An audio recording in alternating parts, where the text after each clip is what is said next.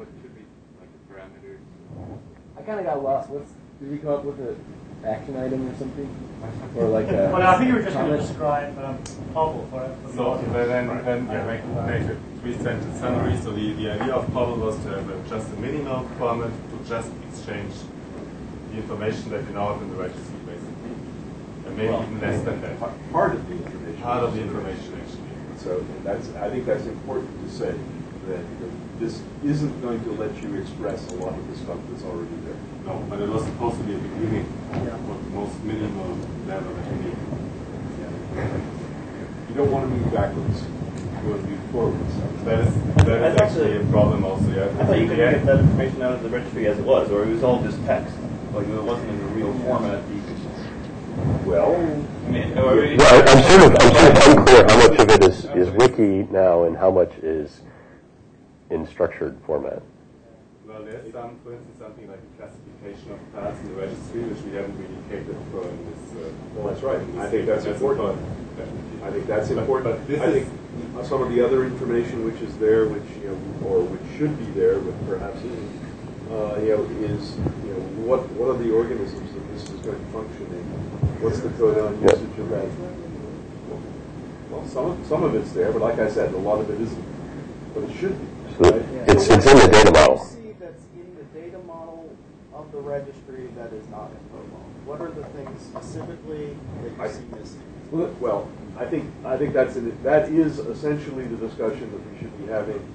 I think it's difficult to have this in a, um, say, say it now or forever hold your peace kind of environment. I think this has But to continue. It does, it has to be, this has to be, a this has to be an interchange Yeah. that continues. Yeah. But some things that immediately come to mind, I think you need to take very seriously the notions of families of parts.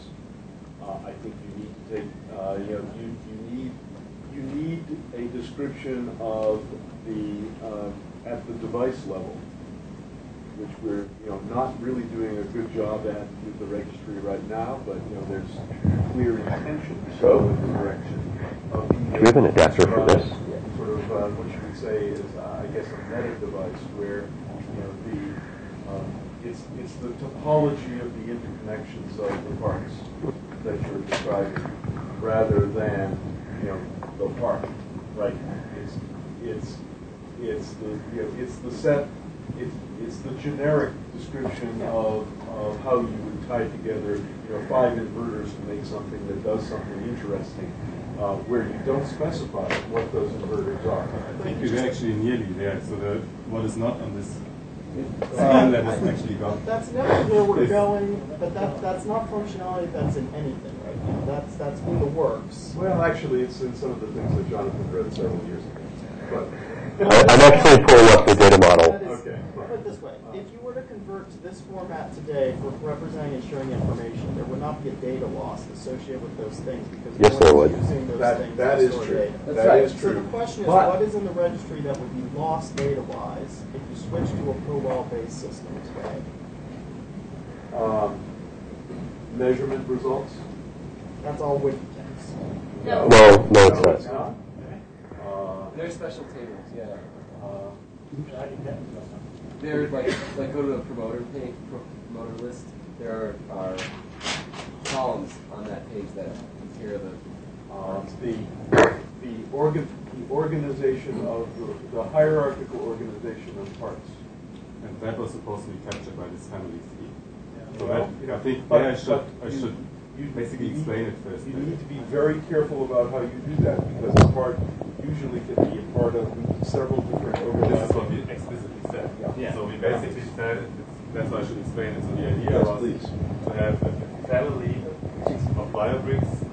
So that was now for the biobricks, so that you have that every biobrick be a member of many families. Uh, no.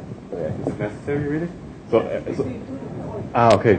So the the idea would be that a biobrick can be a member of many biobrick families, and those biobrick families can be themselves members of biobrick families. So that you build up a multiple inheritance hierarchy like that, and then uh, you can associate data at different levels of families.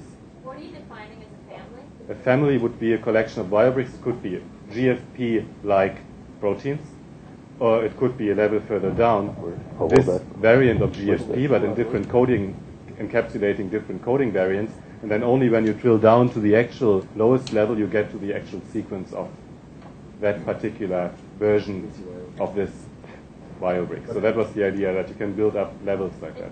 And can parts be in multiple families, like within the same level? Like, Yeah. You know, it's not that I could be in this family and then I would be with this family. I No, it was supposed to be very freely associatable, uh, better than, yeah.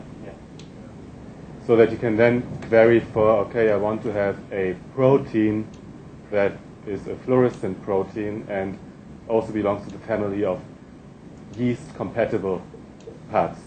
And that should be captured in this graph of family associations. That was, that was the idea, basically. And then, and then the, uh, the question that we left open is whether we want, for instance, also versioning to happen in this family tool, whether you then also go that far that you say, okay, different versions of a BioBrick would also form a family, for instance. That would be the first level, actually. So, Are uh, composite parts a special separate family, or would they be merging of? well, it's getting really interesting. I mean, then you could probably also put them into families, yeah, of course. And it goes comes to composite parts. Then you have families of composite parts. And then, then the very serious problem which emerges out of, you know, computer-aided design tools in other fields is what happens when somebody goes in and modifies a basic part which is part, which Yeah. is, is a, uh, is, is used in, in, uh, you know, dozens of other composite parts. And, you know, which, which version of the basic part now is the, you know, now is used as part of the description of those composite parts. So, you know, there's, there's, that's what I'm saying is, you know, it is time to step back and think through these issues very carefully right now before we plunge forward and do something that we're going to regret in three years. And, uh, you know, I, I'm in favor of moving forward, but let's do it in a deliberate way rather than in a, you know, let's just go do it kind of way. So we can look back just briefly um, regard to the device classes. Um, this is one of the first tables defined in the old parts data model. Um, so device class, which is like your inverter, um, the logic function that it performed like in static logic, um, and the subparts, which defines the device types that make it up in the in the logical order that they occur, a description, um, a way to package it, an icon, and uh, forget what uh, template is. That's that's if uh, if you can actually go and re-implement those parts. Otherwise, it just sort of defines a family, or parts family could encapsulate a device. Is is? Yeah. So This is the first iteration. this is we're still in digital logic back then. It sort of goes the opposite way. And I just want to show you one other table from the old data model, um, which the parts characters, parts characteristics um, that takes your, your part ID um, and the various different parameters that you're measuring, um, your minimum, maximum values, typical values, uh, what the unit of measurement is, um, the characterization type, so what sort of instrument you're using, and the chassis that you're doing the measurement on. And uh, there should be um, an additional, some additional fields there to describe the environment which you're measuring uh, those parameters. But this was sort of a start as to how to capture that data. Um, and you would use these parts characteristics if you were going to go do a simulation. So when you were building the code to send to the simulator, you look in uh, look in the database for these uh, characteristics that are measured, and then you can actually make simulations that are more meaningful than just guessing. So that was the idea behind that. Behind that, and a lot of that data was in the registry. Probably is still sitting there, although it's not exposed. For 100 parts. It's there for 100 parts. All right, Less how- than 100 parts. How do we move forward with biochain in the data model?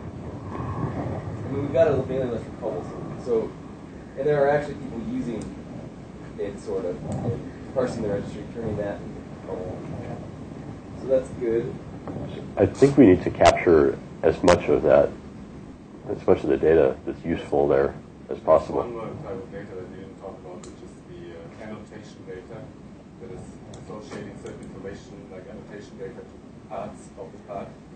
Like Oh, features, features. Features, yeah, the feature. thing. So that could also be something that is lost at the moment in in That's incredibly important. So- And, you know, the, the there's two other, two other very important pieces of, of data that's in the registry, maybe not in the form that you would like to see it in.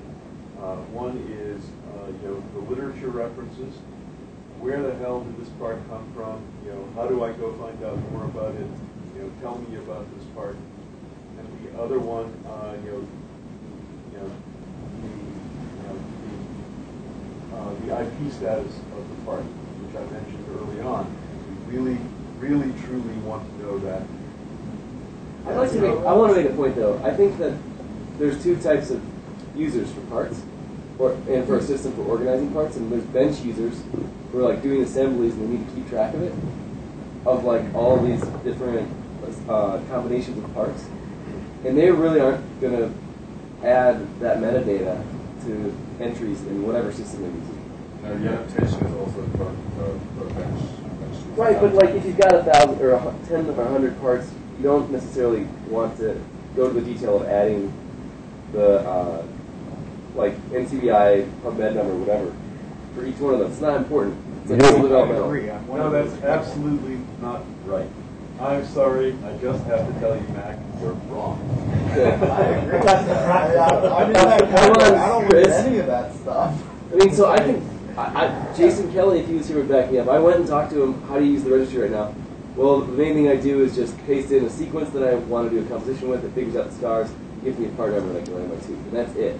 Right? He does not write down. Well, that- reference that's- numbers. that's- that's the lazy way of doing it. That's the problem, not, not, I mean, that's, Right. that's the difficulty with, with, you know, we have to make it easier for that all to happen automatically. Okay, but- Because you do want that information. I And if you don't want it today, you're going to want it tomorrow.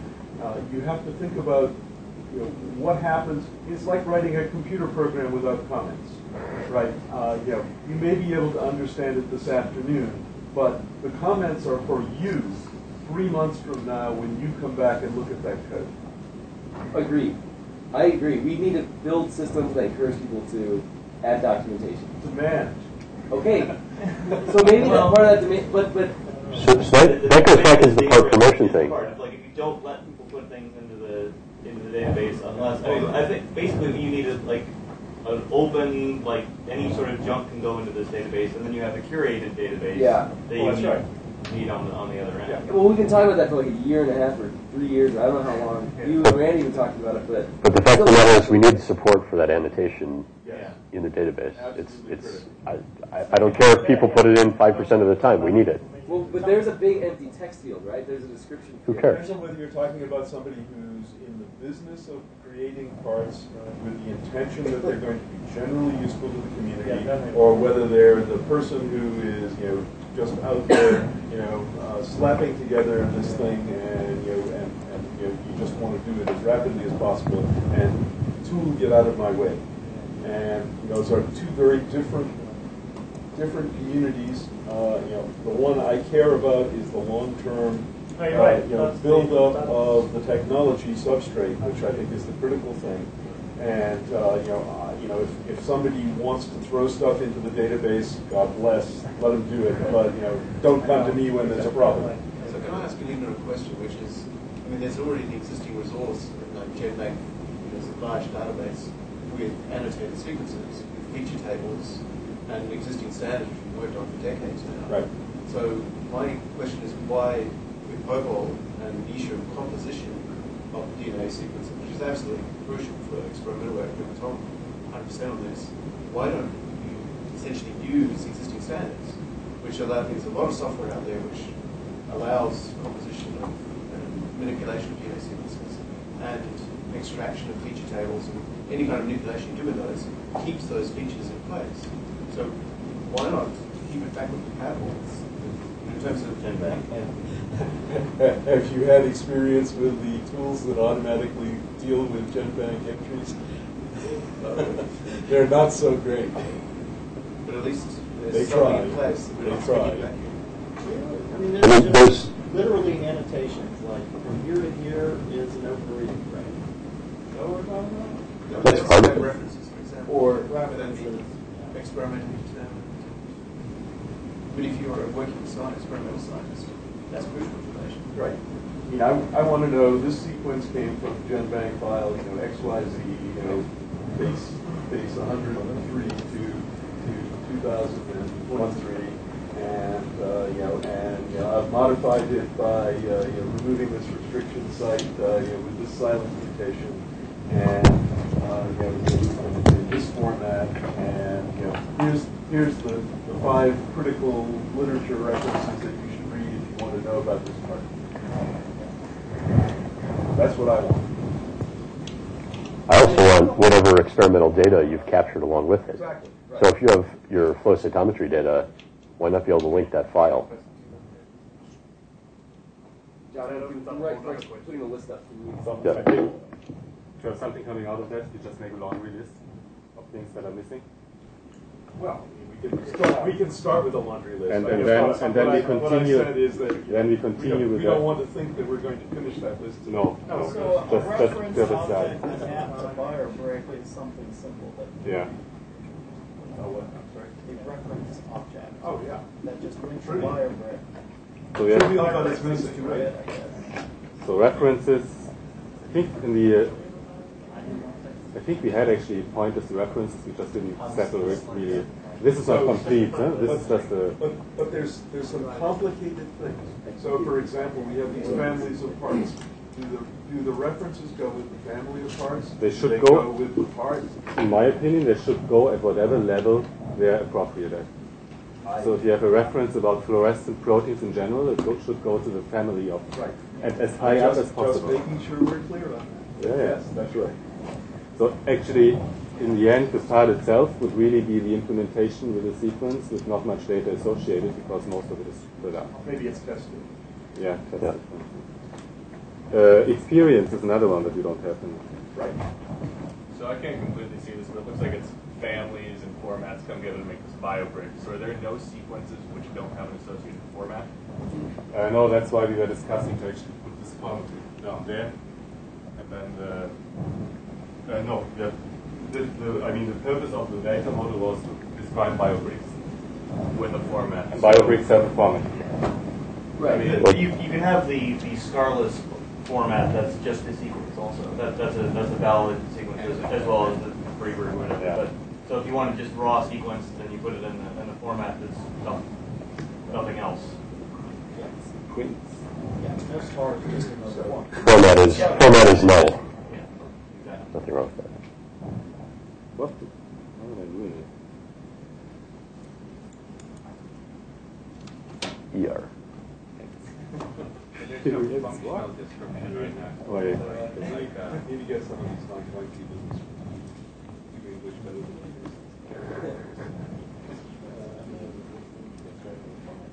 So and then devices, devices we had a discussion about them. We didn't define them really so much. So the idea was to declare a device as soon as you know exactly what you want to measure there, what input and what output you would expect. Right, and, and, you know, As a one of the- collection of parts. But, but one of the critical things that you have to do is define, define a way of describing what those interfaces are.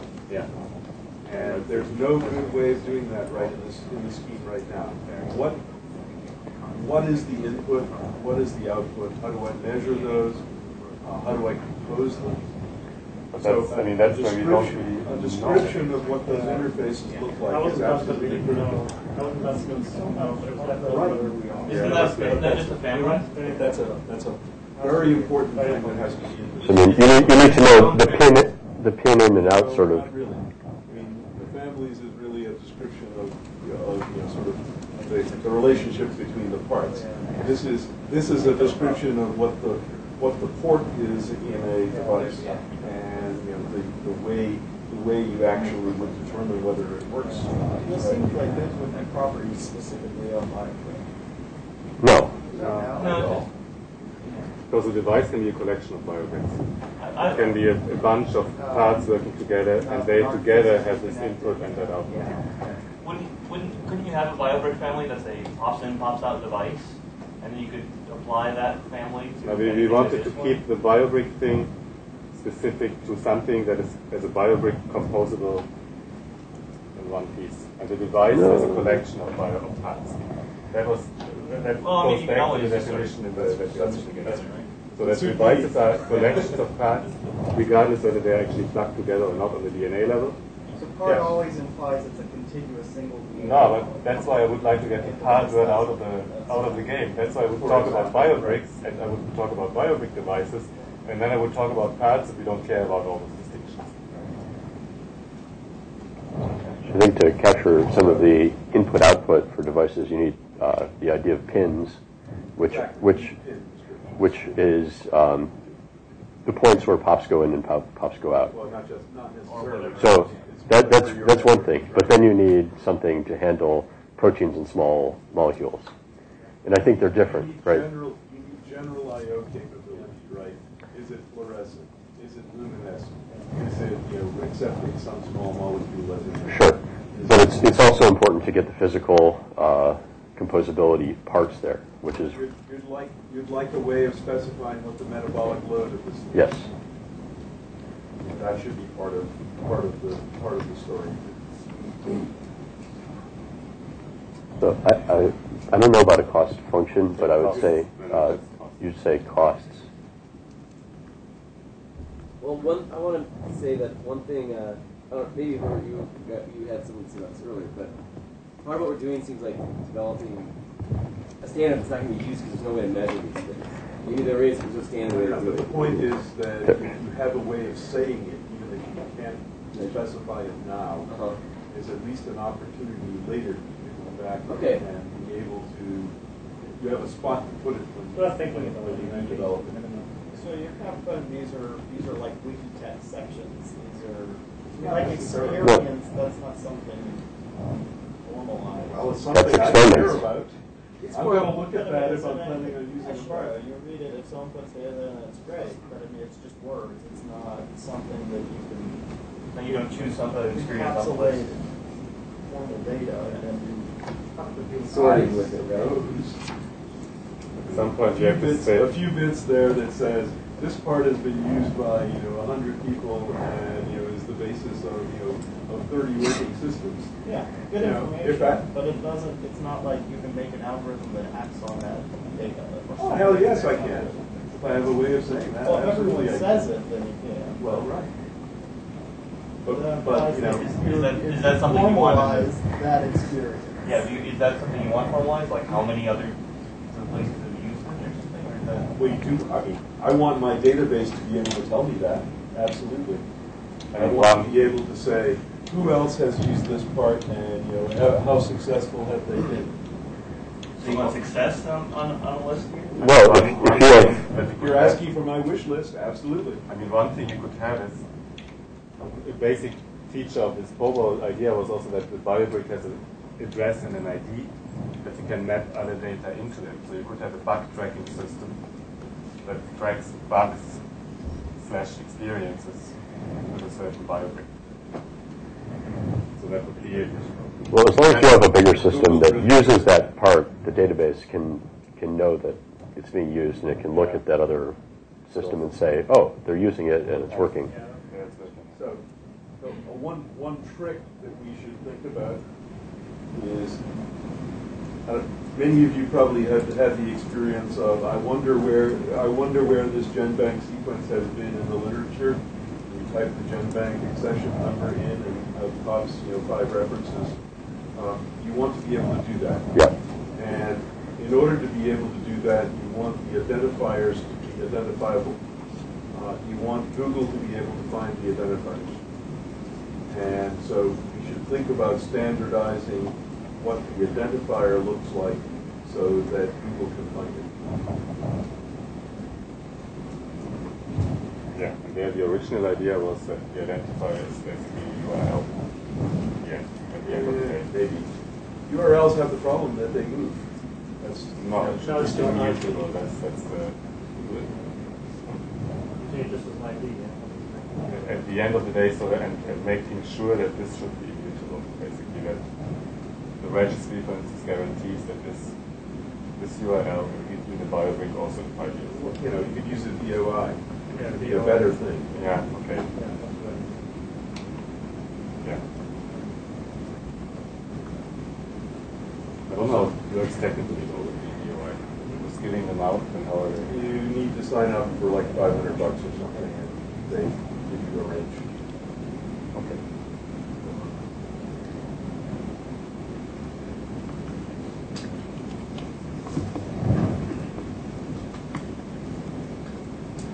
Say you're entering some information about, you know, the GenBank number or whatever in the BioBrick. I'm wondering if it wouldn't make more sense to have an additional node beneath family, which corresponds to the part, and then the actual BioBrick inherits that part information in the format as opposed to every single different BioBrick, BioBrick format you're putting the same information.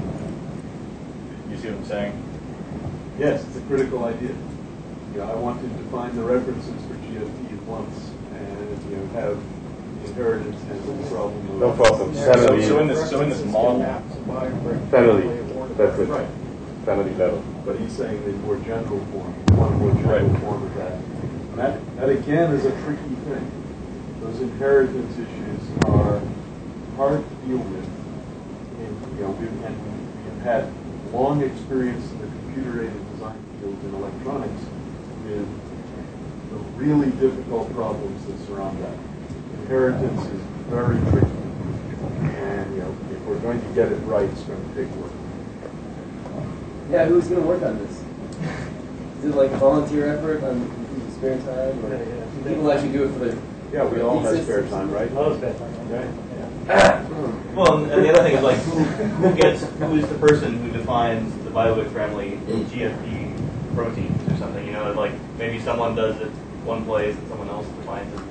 Somewhere That's why it's important for us to maintain a uh, Centralized. coherent, centralized database rather than, you know, 29 million databases, each of which is incompatible. Yeah. Um, You know, and so, and and I just think to, and, and 15 minutes left. 15 minutes left, yes, we should also, do we want to say some things about IP? That's one of the things that Before we close that, so what, what are the next steps then? Just give the uh, laundry list that we had up on the uh, forward side and send an email around on the discussion list. Uh, Yeah. Tom, are you on the list? I think so. Let's we'll, That let's send doesn't an mean I email. read them, but I am on the list, I think. Let's- Let's send one to the standards list. Yeah, describing what we saw. So we, uh, we make a little summary to the standards mailing list and then invite further comments and then uh. Oh. when is the next possibility to talk about it? Um, iGEM meeting. We'll, we'll do this thing with you, right? Okay. Yeah, we should try to, we should try to push something forward Yeah. over the next month. Yeah, I think that would be good. I think if we have a, a draft standard of that, at least people could then start Give us a tour. of the JBEI registry. Yeah, actually, uh, I, I can. This is the JBEI registry. Um, we spent about a year building this, and it has the advanced hierarchical features. You can look at all the different part types. It's the same props as the, the original registry. No, Oh. it's got almost nothing in it. Uh, Do they work? but it's not very searchable. Um, I guess you could look for a, a, a puck perimeter. What does this institute, John Fire? Yeah. So this is this is the independent effort at Berkeley, and uh, it contains some very basic data, not very much of it, and just sequence and samples. Is there any chance you could uh, implement some novel thing? This So I wouldn't bother. I, I think, so that's, yeah, the stuff. right? Yeah. Part of this discussion. we don't want to try. You did this year? Oh, not to this extent. Yeah. no, But I mean, it's been part of the, right, formal discussion.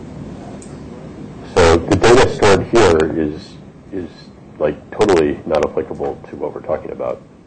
Um, this is sort of a registry developed in a vacuum uh, that, that captures very little data it's not useful to design tools. It's clear that only a subset of the POBOL fields would get filled if you performed the query from the database and filled it, but you wouldn't get, it's not zero.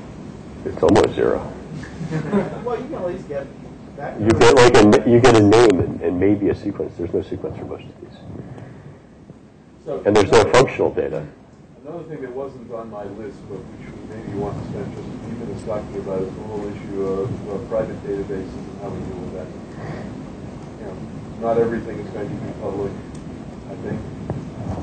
Surprise everybody. And it's private, we don't know about so. Well, but you'd like to be able to integrate those into, uh, into a coherent. You'd like to be able to take your private data and, or maybe the, maybe if you're doing a collaborative project between, you know, uh, Stanford and MIT and, you know, and there's, you know, there's proprietary data there and you're, you know, using the public database, you'd like them all to interoperate. And how do, how do we do that in a gentle way? And I don't know, I don't know the answer to that, but I think that's part of the agenda here is to try to figure that out. But if some companies, they Parts, want uh, momentum, they they would uh, have to follow. No, No, it'll well- never happen that everything's happening on the, I mean, it's the No, same it- thing even with software development, when it's open source, you don't do it continuous, you don't, you don't have people looking at your code while you're writing your code, you make it available when you're done. So you still need a namespace. Actually, actually, actually, I kind of disagree with that. You do? Yeah.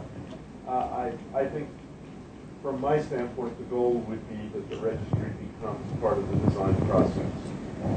I don't want a separate set of tools that's going to go and, you know, and, and, you know, help me design some sequence, and then when I have the perfectly polished, gold-plated sequence, I'm going to submit it, you know, as a, as a, you know, a shining object to the registry. I would like to be able to use the registry as a dynamic tool to help me design this part. And so it's a different model. Um, maybe we could share the same databases and get to the same place. I, you know, I don't think they're mutually exclusive. I'm just telling you what I would like to have.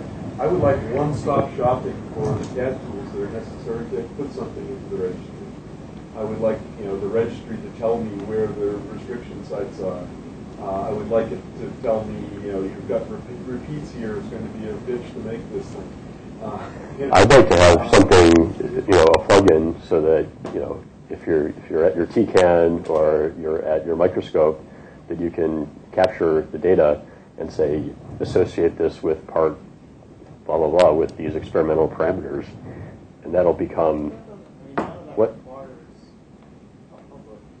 Sure it does. that you let the whole universe see your keeping data. No, That's but right. it, That's, that, I guess that's what I'm saying, is you need, you need an ability to take multiple databases in this format, kind of merge them together conceptually, because those are the permissions that you've got. And, and, you know, be able to build upon that and build things that, uh, that rely on those parts. But that is possible using this RDF technology because the file has an ID with an address and others can map their data to that ID and those data might only be visible within that network, Right. but they are nevertheless mapped to this file. And then at some point they can be actually made But these- publicly visible. The- But these are all things that are complicated. You know, we're, you know, we're, we're not, we're not going to solve these sitting here. And, you know, Well, we the, the idea that, yeah, the idea though that, you know, that these are simple problems and why don't we just do RDF? Doesn't make it, right? You There, there's subtleties here and I, I, um, guess I'm trying to express what some of those subtleties are. But anyway, shall we still? Yeah, so what more do we want to talk about, I guess? Uh, Or do we want to declare success?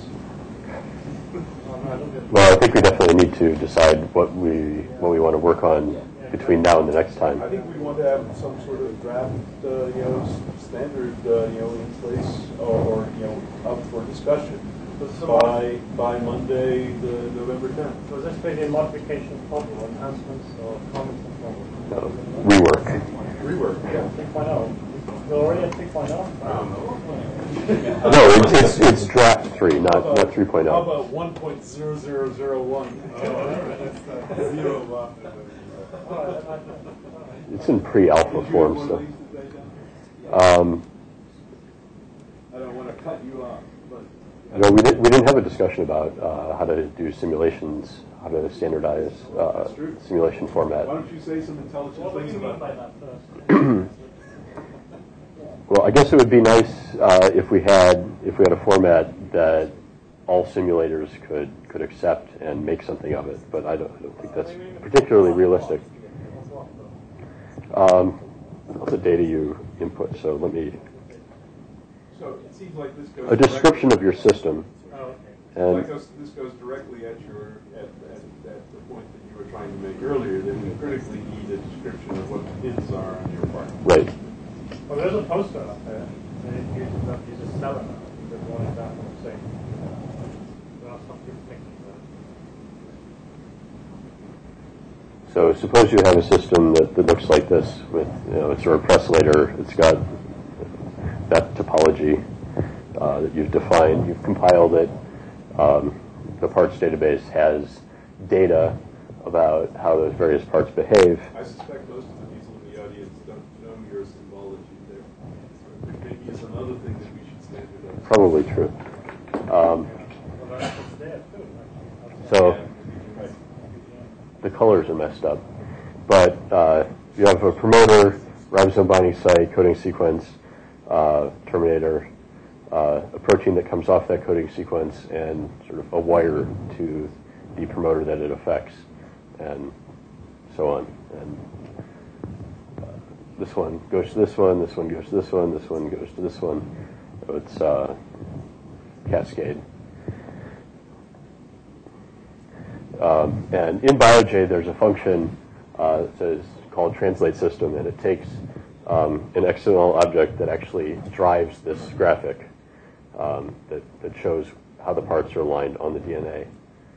Um, and then grabs or creates an XML object, uh, species and reactions that sort of capture uh, what various objects are going are happening in the system and what reactions uh, those species undergo, and defines uh, polymerases, uh, what they're called, how many of them there are, and then it goes through the DNA parts that you have in your system uh, and grabs various parameters about them, and then it turns them into an XML statement that looks something like this.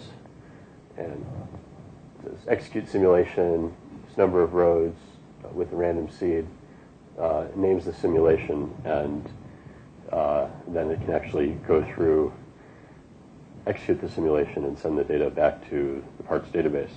But if we had, um, I don't know that it's realistic to actually have a single format that goes to uh, goes to these simulators, and I don't I would, I mean, is um, but I would visit some standards in the systems biology community that are doing this kind of thing, where they're defining how to run a simulation, what, what the model actually is.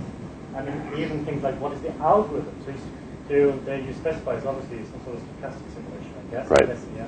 But there's actually a, a, sta- a standard report that actually describes the algorithm as well that you use to run that. Okay. So if we if we could uh, hijack that, Yeah, I think that would probably just take the best of it, Sure. or whatever. But I think it's definitely something that we should look towards doing because um, having common simulators and common design tools all speaking the same language, even if they're sponsored by Microsoft, uh, No, would be a good thing. I was asked.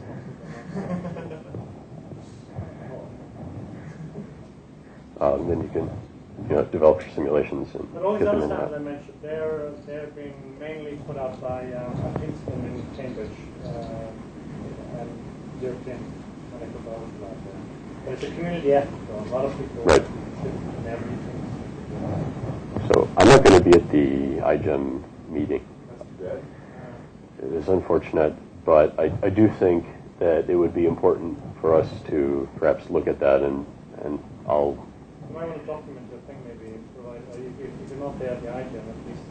Um, write something in. so I'll definitely take a look at uh, the CellML. Uh, Not, yeah, I'll, I, I should email you, send you information on these other things. the, the Selenel is another one. Yeah. I don't know if that's a good, that's a good idea or not. Selenel is complicated. It, it would be good in general just to look at that, and uh, I can write something on up. the list. Can you do it on a POBOL list? Yeah, yeah. That would be cool. Maybe I can. Five minutes early too. We still Wow. have five minutes, so maybe I'll uh, uh, Skype in or something for that. That'd be fun. We can do that. Yeah. Although I think I got kicked off the net here from Oops. Can't connect anymore. They're monitoring you anyway, Yeah. Jason's words were some filtered. subversive words about the Chinese government. Okay. Well, it's been fun, ladies and gentlemen.